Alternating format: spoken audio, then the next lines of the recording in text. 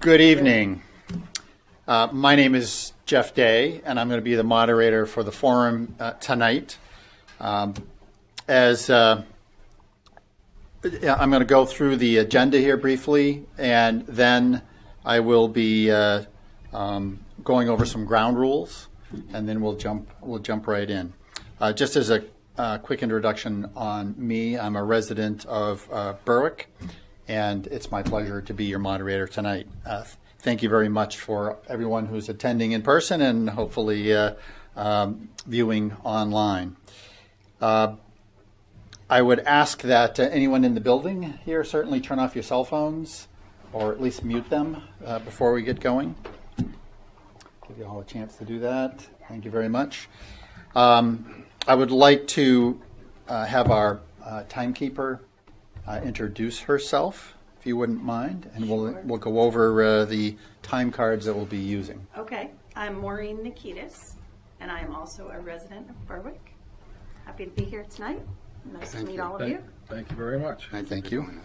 Um, if you could uh, hold up the two uh, time c- cards, yeah, we uh, flip, flip one. Thank you. So the uh, 30, hopefully they're uh, self-explanatory, but 30 seconds, uh, that'll come up when you've got 30 seconds and you'll need to wrap up your comments. And then the time's up. Hopefully you get that, otherwise you wouldn't be sitting over there. Uh, time is up. All right. Um, just, uh, um, well, let's, let's have a, uh, the, the Pledge of Allegiance, if you can all uh, rise and we'll do the Pledge of Allegiance flag is right over here in the corner. I pledge allegiance to the flag of the United States of America and to the republic for which it stands, one nation, under God, indivisible, with liberty and justice for all. Thank you very much. Uh, the uh, Berwick Community Media is hosting this event tonight. All candidates running for elective office in Senate District 34, House District 148, and the York County Sheriff's position were invited. Uh, all candidates uh, had previously confirmed their attendance.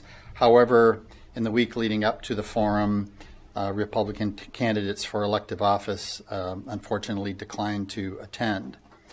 In, in attendance tonight is uh, Joe Rafferty running for Senate District 34.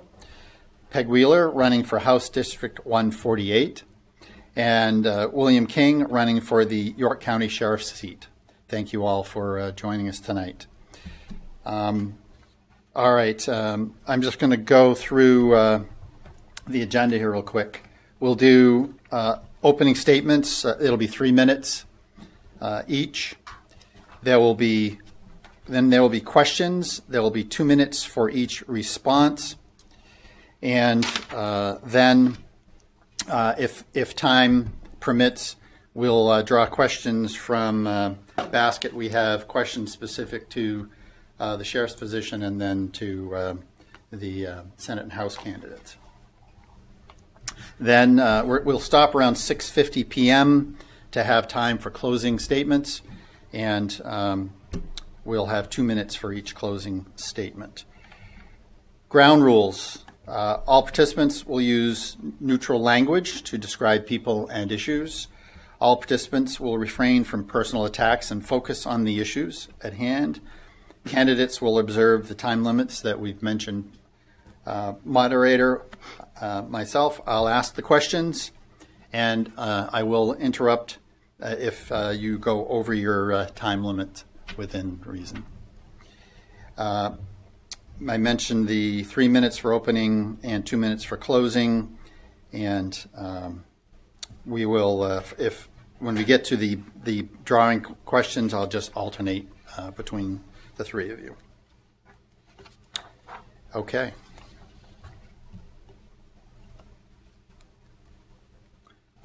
I think we are ready to get started. So, Peg, if you would like to provide your opening remarks. Thanks, Jeff. And thank you to all of you for coming tonight, and uh, thank you to BCM for hosting this event. Uh, my name is Peg Wheeler, Margaret Wheeler.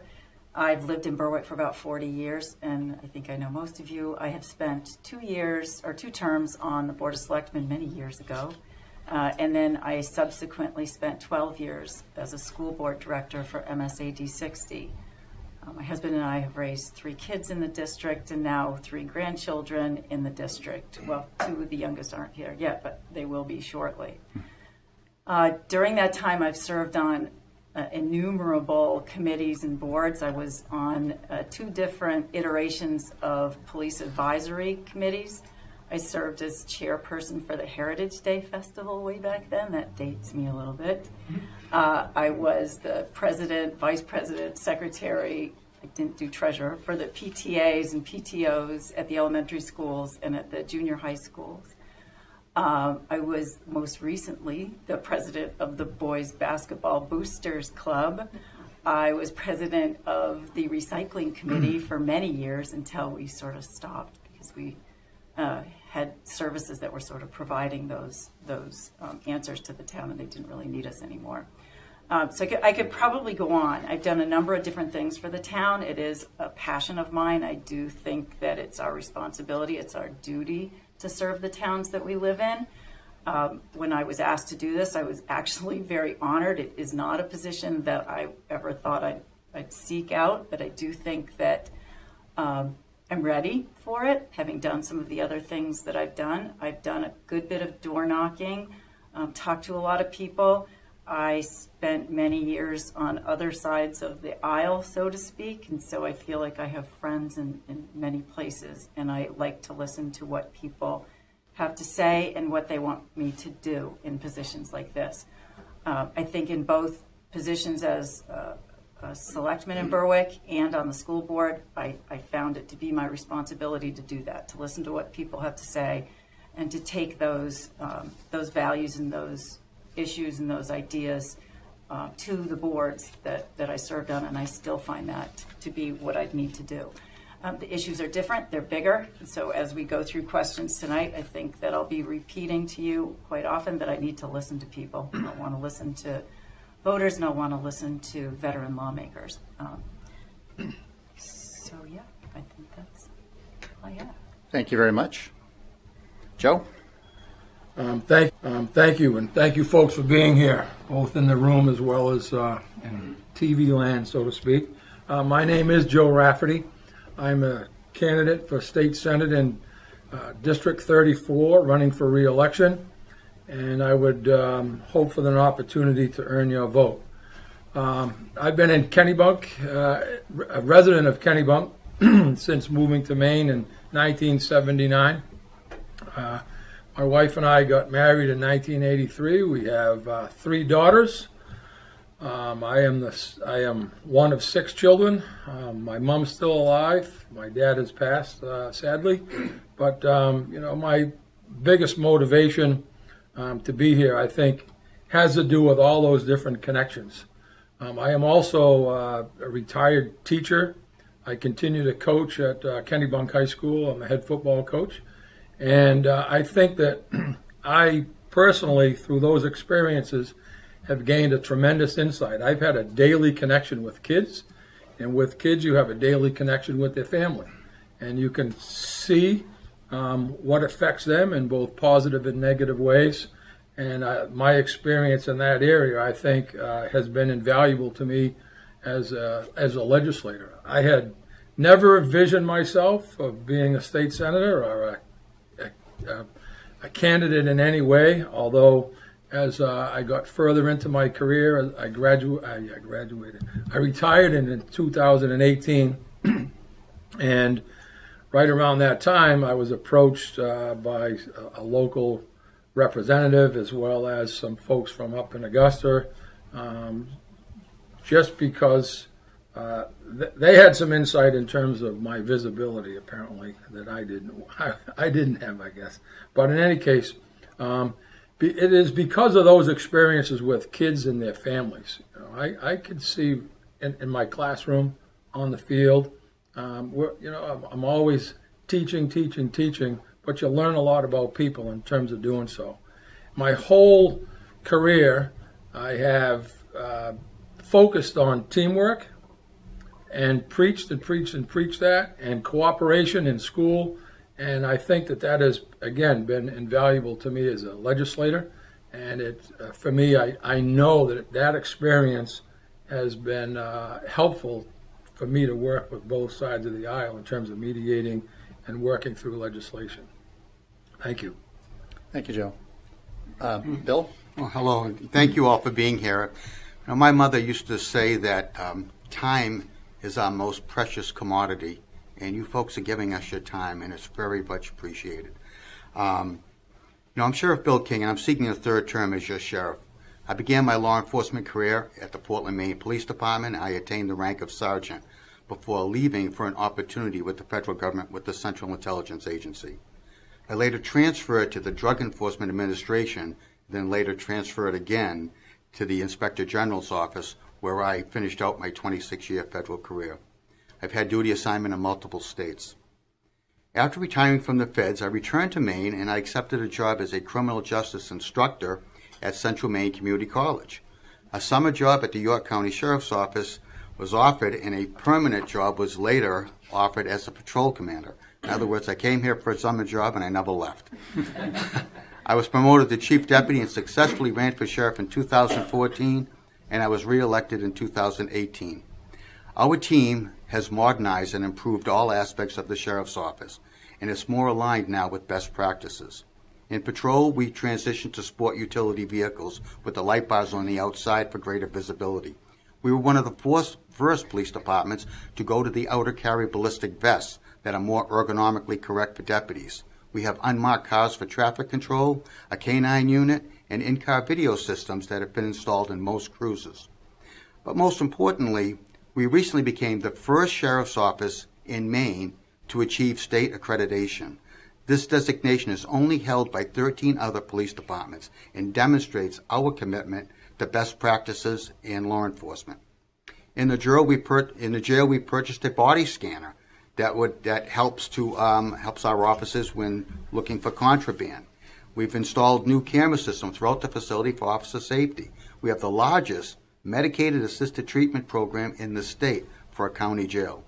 Upon release, all residents are provided with harm reduction bags that connects them to services in the community. On our last state inspection, we received a 100% compliance in, on mandatory standards.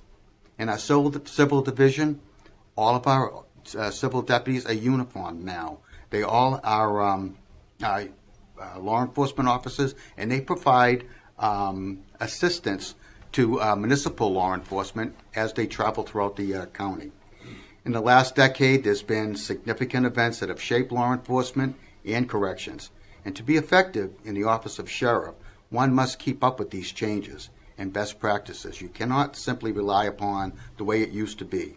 Law enforcement management is a perishable skill. In addition to completing the annual law enforcement training that I've done every year to maintain my certification, I've taken numerous classes. I'm one of three people now in the state that is a sorry, I have to smile. I want to get this last thing. I'm I'm a certified jail manager. I'm one of three in the state uh, that have that that distinction from the American Jail Association. Thank you. Thank you very much.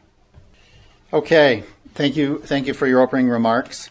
Uh, we'll now uh, go into questions, and uh, what I'll do is I'll rotate just uh, between you as to uh, for for each question. Um,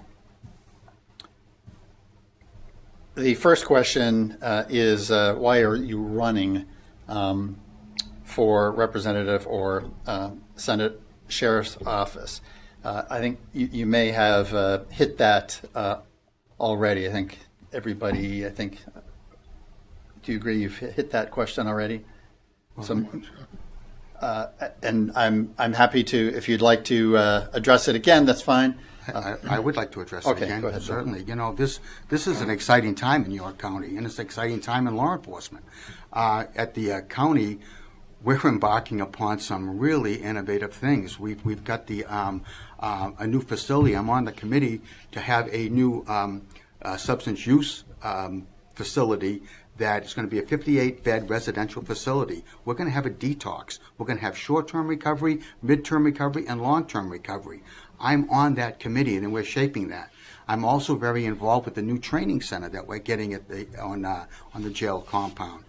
I'm sounding if I sound quick and, and out of breath is because I'm so excited about these projects. We're going to have a training facility for fire, for EMS, for first responders. We're going to have um, uh, just it's going to be state of the art, and we're doing that with ARP money. And um, I'm on the cutting edge of that. I started that. Um, clearly, I mean, this. I I saw this. I saw these projects begin. We've got the uh, MAT. We've got so many new initiatives at the uh, sheriff's office and in the county of York, and that, frankly, I just don't want to give it up. I want to stay for another four years and see some of these through. Thank you.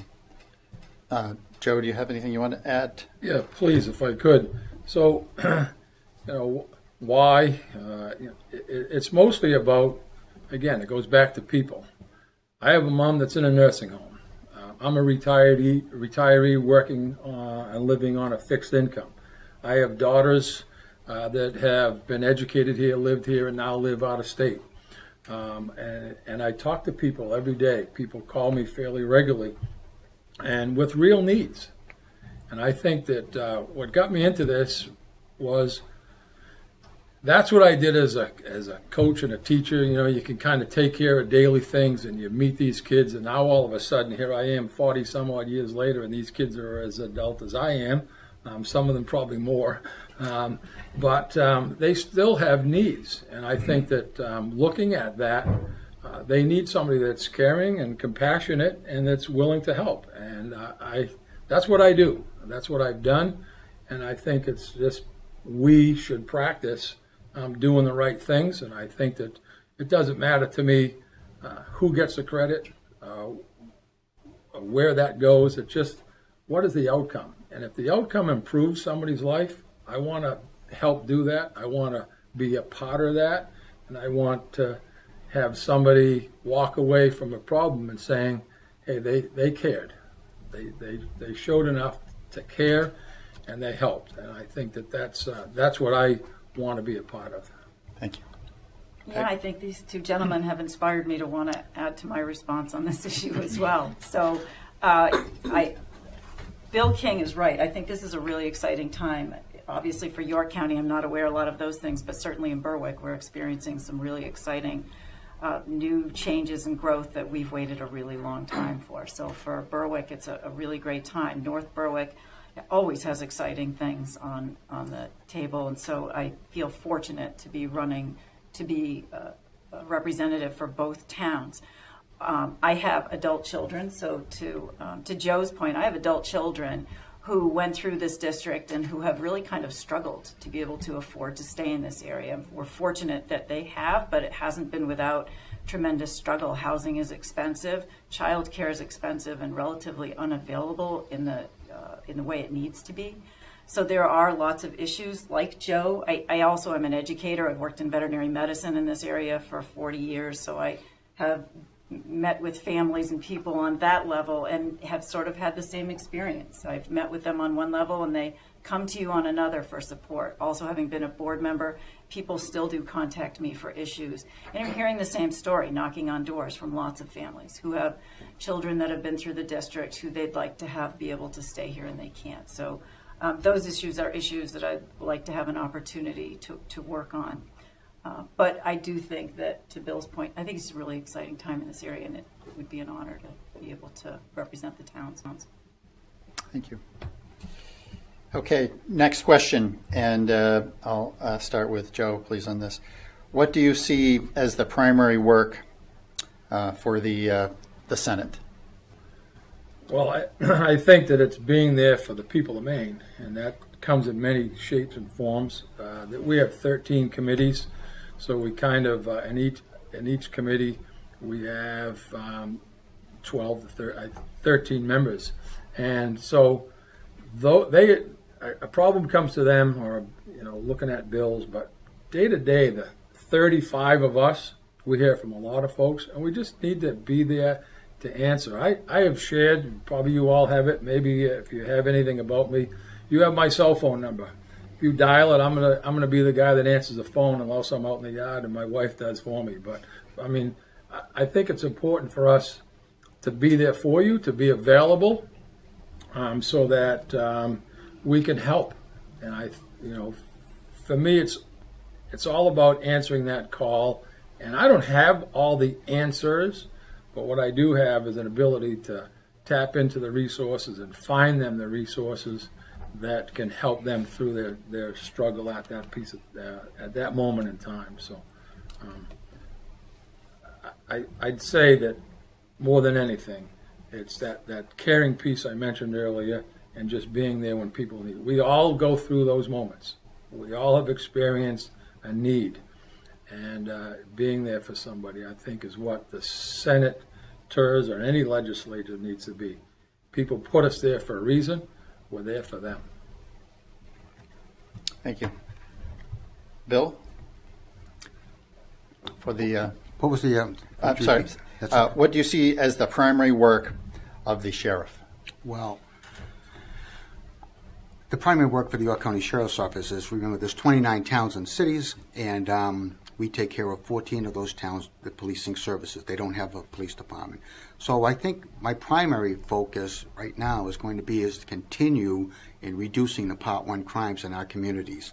And frankly, when I first came, we've done an effect, a very effective job.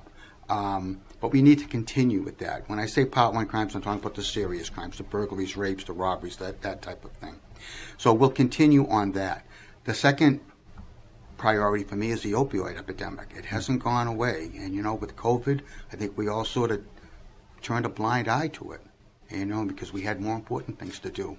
The third, the third um, priority that I have is the traffic control in our in our areas, and it's so much so that I started an initiative during COVID that I, when I was walking, when I walked through the jail, I would see my receptionist sitting there, and the lobby was closed, everything was done, and she didn't have anyone to receive.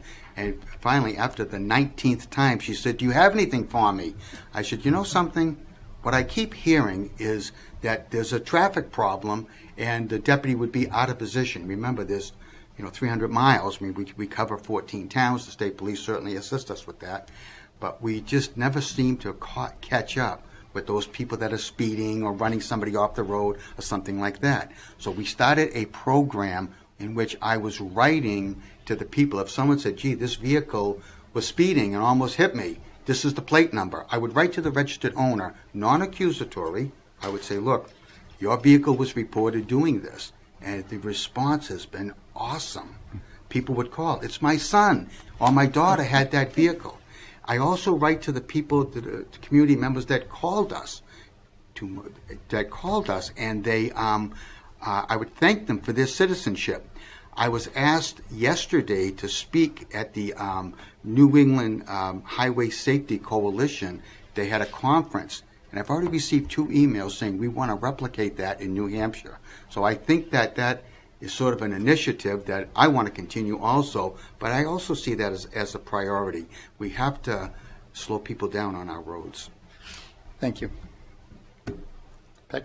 Yeah, so I guess in, in I'm not there yet, so it's hard to, for me to say what are the biggest issues that they've been dealing with. But I think it's safe to say that um, we have uh, housing issues to deal with, we have energy cost issues to deal with, we have um, folks who are really struggling, planning on how they're going to get through the winter. We have um, fortunately been able to fully fund education at the 55% we've all been wishing for for years, but we need to make sure it stays there. Um, I think that's a super important thing to keep on the horizon. I fear if we look away, that might go away during economically challenging times. Um, but I, I agree with Joe. I think we need to listen to people, and, and that is fully my intent to listen to people and hear. I've heard some really interesting things out knocking on doors. I do hear a lot about traffic issues. I hear a lot about people speeding on my street, and uh, I'm going to start saving some some plate numbers. Uh, I'll write them a letter. but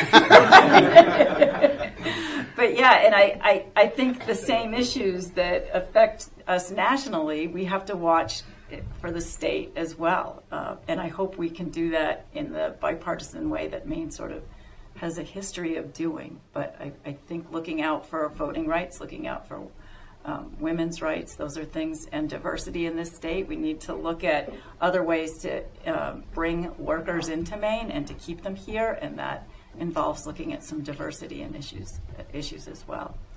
I'm all set. Thanks. Thank you. Okay, next question, um, and uh, Peg, we'll start with you on this one.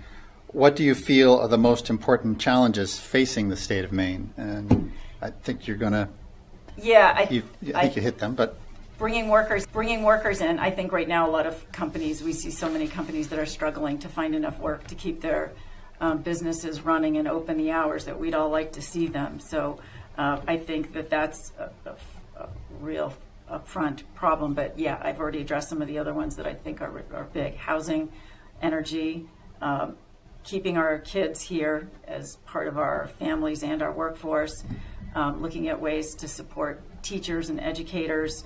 Uh, we have an awful lot of teachers leaving the field, and that scares the daylights out of me. So, looking at ways to um, support them in the work that they're doing, uh, and childcare, providing childcare for families, so that we can have two people going to work if they choose to do that.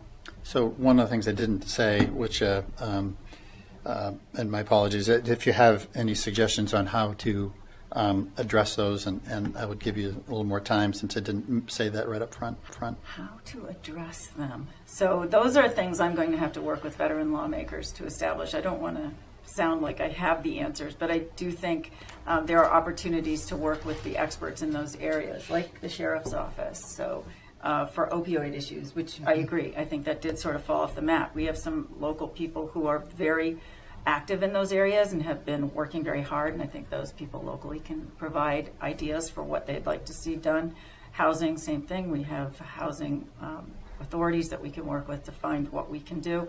Berwick has been really kind of proactive at providing low-income housing opportunities, uh, but you know, we we need to make sure that we uh, have the resources from the state that we need to support those people. So yeah, I think I'll need to listen, do some listening for the first first year. Okay, thank you. Um, and Joe, just again, the question was, what do you feel are the most important challenges facing the state of Maine, York County, or Berwick, and how do you propose to um, address them? Um, as, as, Peg mentioned, there there are numerous, and I would I would say that currently, you know, this this past summer, I was fortunate enough to accompany the governor uh, on a number of stops throughout York County and many of those right in Berwick and in, in, this area, and including Hussey Manufacturing and Pratt and Whitney. And walking in the door, the governor, she would like instantly want to get right down to business, saying, "How can I help you?" And the first thing out of everyone's mouth in those facilities was, "We need workers." And um, so we have to look at ways where we can attract workers. Um, and both of those companies have significant uh, packages in terms of health care and, and pay. The problem is then it turns into a housing issue. So affordable housing means a lot of different things to different people. When I look at my daughters, can they buy a house? When I look at some of the elderly, I talk to some of the elderly I talk to over the weekend, it's like, can they afford to stay in the house?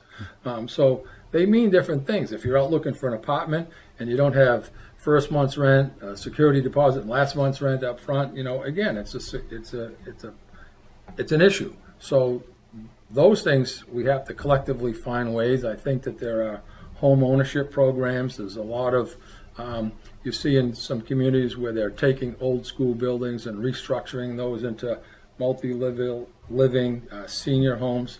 So that's the type of thing. We just have to be creative, but I think it's creative and collectively and again, I go back to let's not worry about who's getting credit. Let's just solve the problem.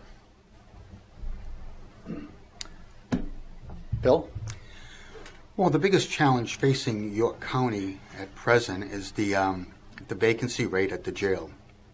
I think the vacancy rate right now is like 38 officers, which is really causing a lot of people to work extra. Um, we've done a couple of things. Um, such as we've got a, a, little room in our gym so that if an officer works a couple of doubles and he's tired and doesn't feel that they can walk, uh, drive home safely, they can go to the gym and they can sleep for the night and everything is included. There's a shower and there's towels and all that type of thing. So that's what we try to do that. We try to do a lot of employee engagement things. But really, And the short-term solution is that we're paying with incentives twenty-six thirty an hour, which is a very good salary.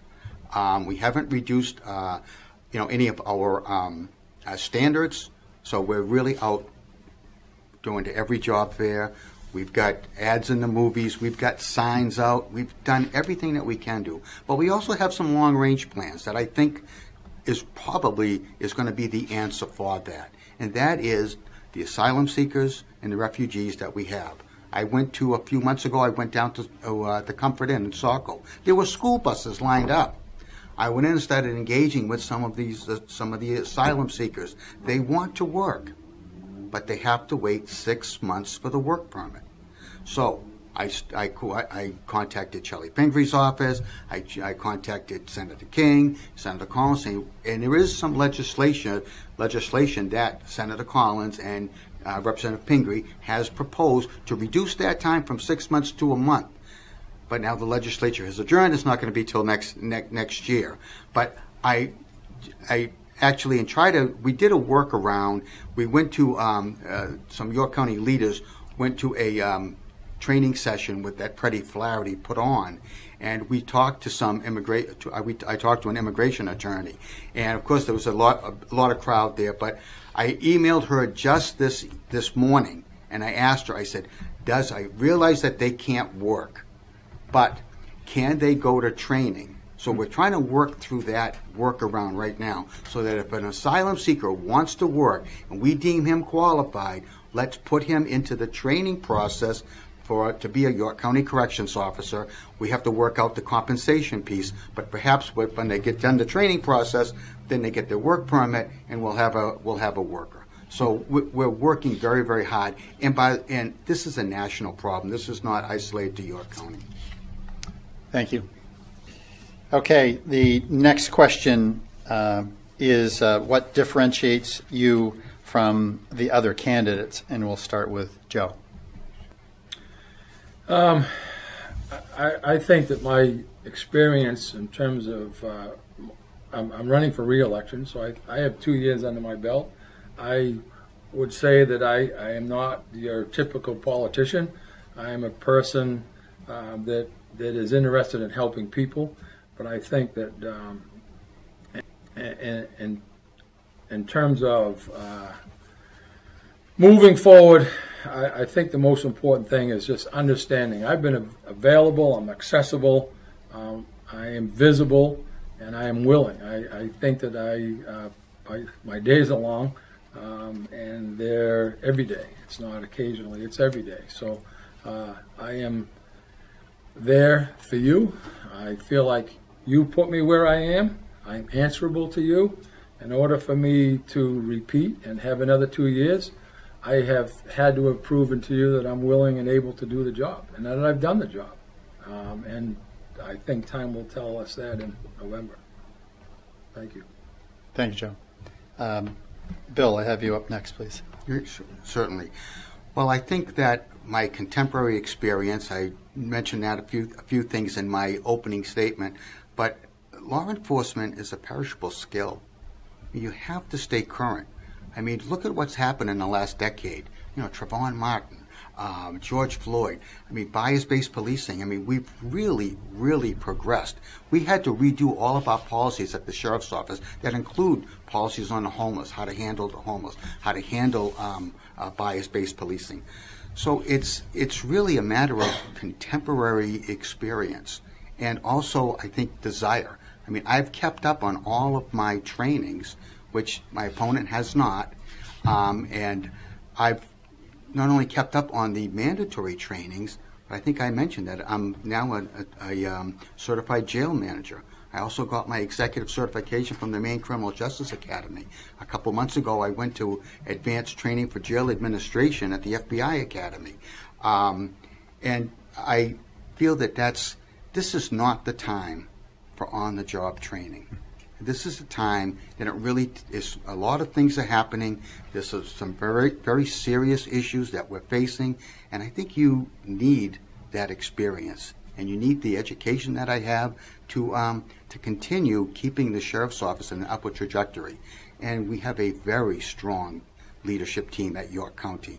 Um, not only just at the sheriff's office, but in the whole county. And I really enjoy being part of that team. And I think that will um, we're going to see a lot of great things. So I appreciate the uh, opportunity. Thank you. Peg? Uh, I think probably what differentiates uh, my my situation is the experience that I have had uh, on many different boards and committees uh, for the town and for the district, um, and th- that is significantly different than my candidate. So I've served the people of Berwick and North Berwick uh, for many many years. Uh, so I have developed those relationships. I think I've developed a good bit of trust with a lot of people in Berwick. Um, and now that I have kids living in the district, that gives me um, one is a homeowner. Um, they work in the town. They work in the area. Uh, so I think that gives me a, an, an even deeper connection. And I have grandchildren who are going to be here, so I have motivation to um, to keep those connections with people and to help the towns and the state move forward. Thank you. Okay, um, what we'll do now is um, I'm going to uh, take uh, questions from the uh, the box and uh, or boxes, and um, I, what I'll do is I'll draw a question depending on um, you know either the sheriff's box or or the uh, senator or senate or uh, uh, house box, and um, uh, I'll start with uh, um, Bill, if you don't mind. Certainly. So the first question is, how are you, or will you work to show our county that mental health is just as important, if not more important, than a criminal's actions? Oh, that's a that's a very very good good question. Um, we do have. I think that off with um, with a substance use disorder, there's often co-occurring mental disorders that the individual also has. So we have been doing that. What typically when we have someone come in and they when they're assessed, if we do determine that they have some mental uh, men- mental illness issues, that we have a um, have a medical unit that assesses them, and then we try fervently to get them into the uh, um, the stabilization unit at the prison, just to, to stabilize them. Um, we've had issues. Uh, you know, I, I can go on and on and on with example after example, but that's one of my priorities. Is that it's there's people in jail that exceed my comfort level, frankly. That they don't belong in jail, they belong in a um, in a, a, a mental health uh, facility. Um, so it's been one of my. There's unfortunately there's no place to to send these folks. So what we, we try very very hard to um, uh, to work with the state and to place them, whether it's Dorothy Dix or whether it's at the uh, uh, stabilization unit at the prison, we're, we're just trying to get them there. Thank you. And, and for that for that person that sent that sent the question, she's absolute. That person is absolutely right. It is a huge priority, and it's an issue. Thank you. Okay, the next question uh, is, and, and I'd ask both of you to um, respond to this, and Peg, you can start first. Do you support the CMP corridor? Uh, that's a great question. Um, I have I have concerns about the CMP corridor. I have concerns about the land in Maine that it's going to destroy, um, and how that uh, energy travels straight through us to provide services to Massachusetts, but not really to the state of Maine, while it's sort of destroying our resources. Uh, so I have some learning to do on this subject. It's a subject that's sort of a bit bigger than the experience that I've had locally dealing with um, issues, but I do have some tremendous concerns about it. Maybe before I would support anything like that, I would want some answers about how those things are being mitigated. Thank you. Joe? Uh, in the end, no. Uh, I, you know, when I looked early, um, it was very confusing. I think both sides did a great job of continuing the confusion. And uh, but I, when I really looked close at it, the the communities that bordered uh, the, the northern border, that that was that clear cutting and so forth was going to take place. Um, all voted against it. They were all against it. Those communities didn't want it. And I felt like it was, you know, uh, a situation where some of us that were had ultimately very little effect on us were willing to kind of sacrifice them because you know it's not in our backyard. But uh, the reality was, I in the end, I did not believe that the jobs were going to be ongoing. Uh, those were all temporary jobs, and I think that um, the benefit was to um, people outside of our state, and I felt like that we were sacrificing some of our own natural resources, risking some of the potential impacts on our natural resources, and ultimately, I didn't think that it made sense for me. Thank you.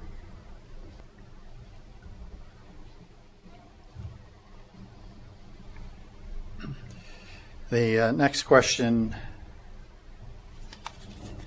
is, and, and uh, Peg, if you could start off on this. Do you support the investigation of alternate power sources more in line with reversing climate change, such as wind, solar, and other? Absolutely. Yes, I'm a firm believer that climate change is an issue that we need to address, and we need to address it swiftly if we have any hope of uh, providing some mitigation that will serve our children and our grandchildren. So, yeah, I think as much investigation and implementation as we can possibly do uh, is, is where we need to be. Thank you.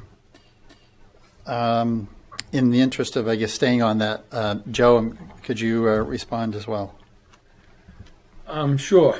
I, I, I, I think that, you know, if you drive down the street, this house is heating with wood, this one's got electric, this one's got oil, and I think that's always going to be, I, I, don't think there's one answer, there's not one method that fits all. So I think we do have to continue investigating. I think that we have to consider the environment. I know that that's, uh, you know, I, I scored big in terms of the Maine's conservation voters scorecard, but I mean, I, I just think that we have to be conscious that um, what impacts they have, but certainly have to continue to explore. The, you know, we we learn more every day, and there's great science ahead of us, and I think that we're going to solve the problem. But I, I don't ever see that there's going to be one solution or one one answer. We're going to have multiple forms of energy, I, at least in my lifetime. Um, but you know, down the road, I, I you know, it's hard to tell. But I I think that we just got to keep looking, and I think we have to work together because um, I, the reality is we've had a, a negative impact in terms of the environment, but I think that we um, we also need energy, and so it's uh, we're, we're going to continue to consume it. We just have to find the right path. Thank you. Bill, Bill, next question for you. Um, and I think you uh, touched on this already, but it's no secret there is a major, major shortage of staff at the jail. What are your plans to turn that around? And if it can't be turned around, what are your plans to alleviate the pressure of the current corrections officers suffering burnout and work fatigue? I don't know if you want to add on to what you already said on that. Well, well actually, we, we, we did um, um, meet with Cumberland County, and we did a, uh, a resident exchange so that we can have more like-kinded, we, we cohorted residents, so that that would, we could have more people in one unit, still within the guidelines. Like, for example, all of our female residents are now housed at Cumberland County, and we have more general population residents. It just helps us. And actually, it, it helps us a lot because if they have, they send us their, their um, residents that are on medicated that are in the MAT unit, Medicaid assisted treatment, which just it gives us an opportunity to use our largest unit for MAT. So and again, we can have have the MAT in that unit. Everybody's cohorted together. Everybody has the um, uh, the counseling together, and they sort of sort of uh, like it's almost like a therapeutic community. They sort of all talk to each other to try to keep them explain what you know what they what their hopes and visions are when they get out. It also helps us with religious services that if they're all cohorted, because when you had the females and you had uh, special management, it, it was a little more difficult. So now we can have basically one service. Thank you. That didn't really answer your question. I apologize, but uh, but and, and, and we are and we're still working on the on the recruitment and, and that type of thing. Yeah, thank you.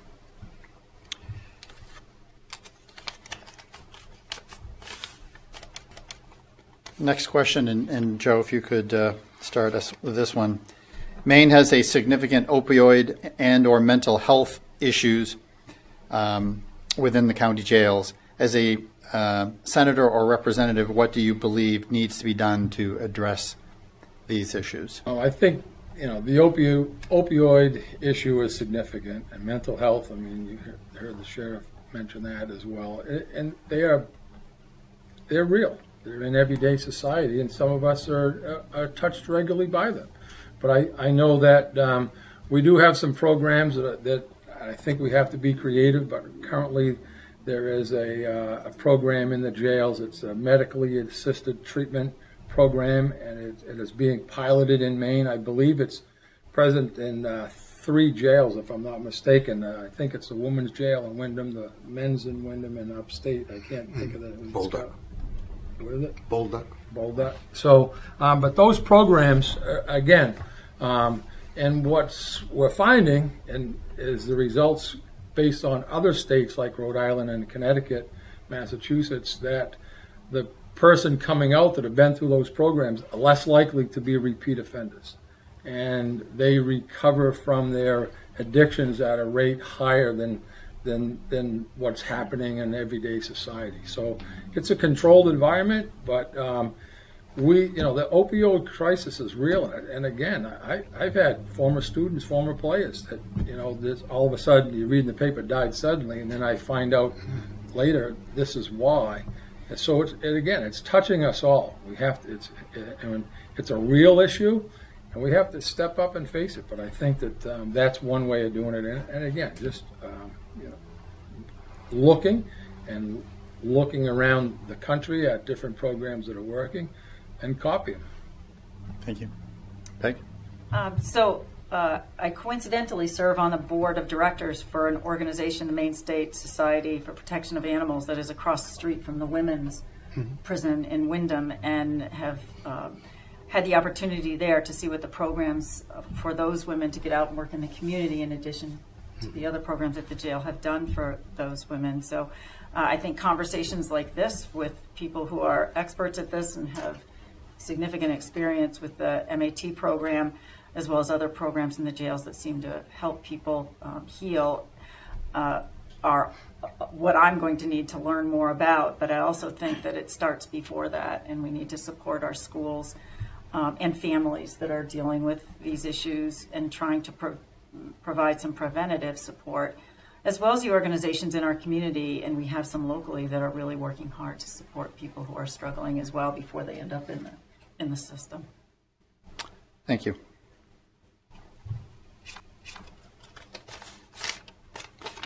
Uh, Bill, in the past year, there have been several COVID-related issues at the jail. What practices have you or do you plan to put in place for the safety of the inmates and the staff? Yeah. Well, There have been some COVID-related issues at the jail, and um, we've, uh, we've taken them head-on. We, we were the first jail to have an outbreak. And since then, there's been 47 other outbreaks in other correctional facilities. Um, We've, we've really become the model for it because we've, we've, we have a, a plan and the state came down and inspected us, and actually they've adopted some of our uh, some of our uh, strategies. We still have um, before uh, people come to work. There's signs. If you're not feeling good, turn around and go back. And also, we still take their temperature, and we still do uh, periodic health screenings on people. So we've really kind of tackled that. Uh, I, I now if we have an outbreak in next week, you know, I mean, you know, because you just never know. But um, we're very, very cognizant of it. We've now, and we're starting to start training people and educating people on monkeypox. So we're really in tune with that. And um, um, yeah, I was just I was going to go into you know what we're doing with, with monkeypox, but um, it um, you know we have these conversations constantly, and everybody is aware of that. Thank you. All right, we'll do uh, the final questions for uh, Joe and Peg. Um, Peg, if you could uh, respond to this first. Will you support legislation to allow retired teachers to collect their Social Security benefits? Absolutely. Absolutely. Yeah, I, I can't equivocate on that. Yeah, absolutely. Having served on the school board for as many years as I did, this is an issue and we need to fix it. So, yes, absolutely. Thank you. Joe? I'm a retired teacher. and I did contribute uh, to both uh, my own, you know, state retirement as well as the uh, federal program. So, um, yes, I would, and I will say that Maine is one of only nine states across the country that doesn't allow for it because people call it double dipping. Um, they didn't call it double contributing, but they call it double dipping.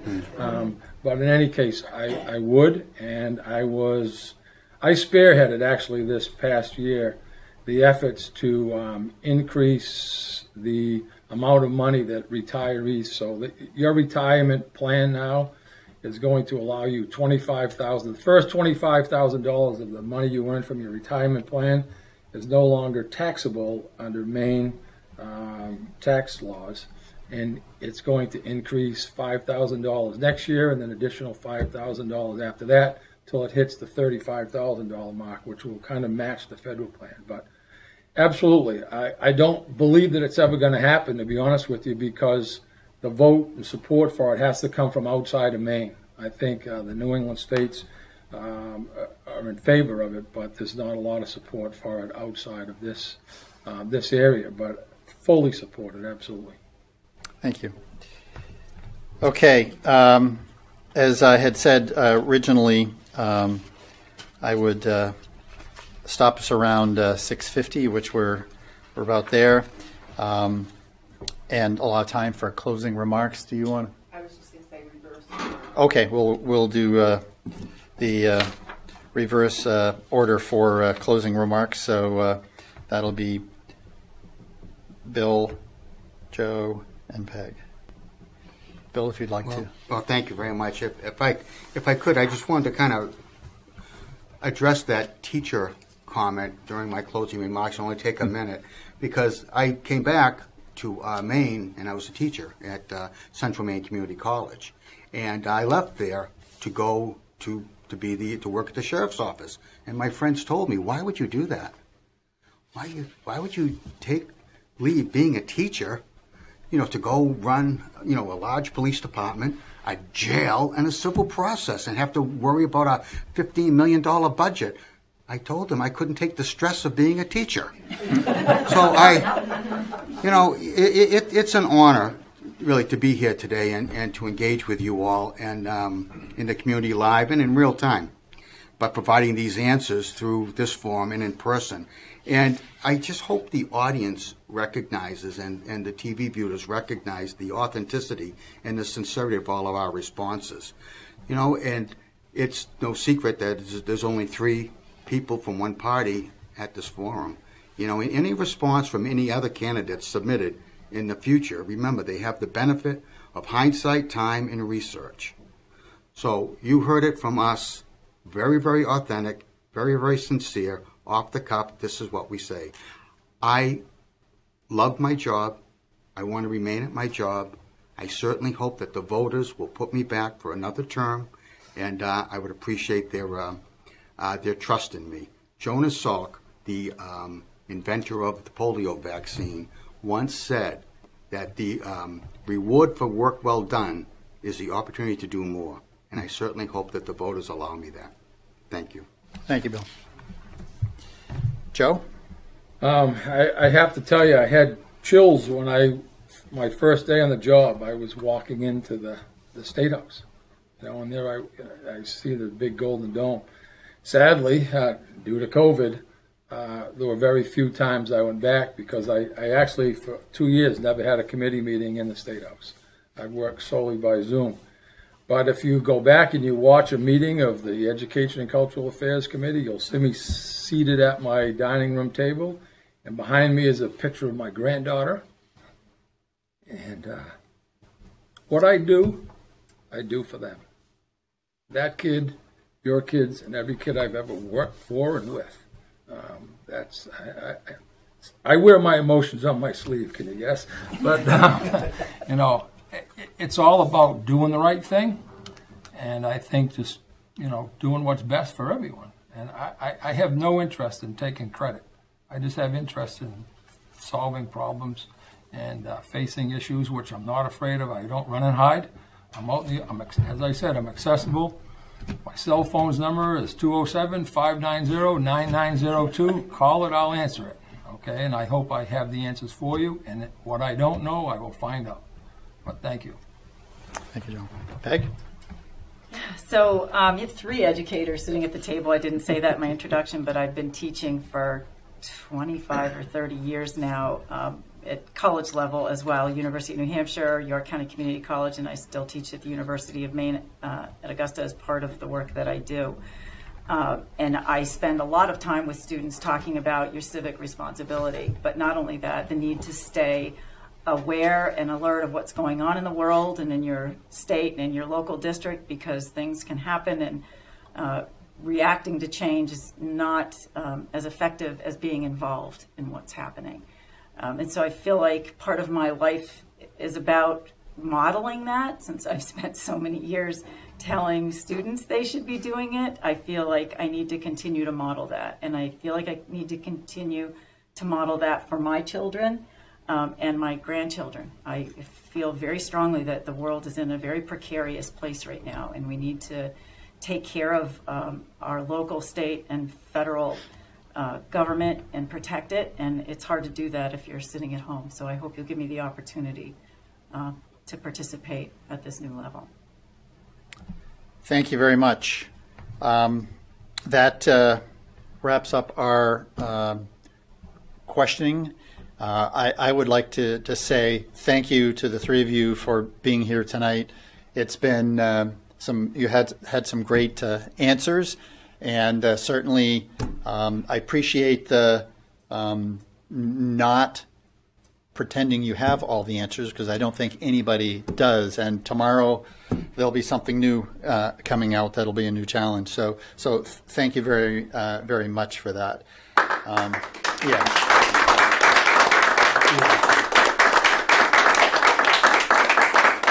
I, really appreciate you making the time, and I, I wish you uh, all the best in your uh, um, your candidacies.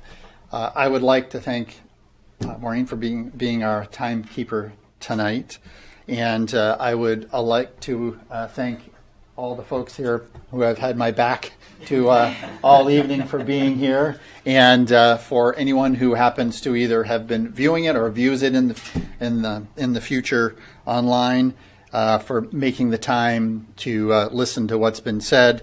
I would just encourage all of the uh, the voters. Um, make sure you exercise your right to vote on uh, election day, November 8th. So um, um, I guess I will uh, uh, leave it there and uh, say thank you very much and have a good evening.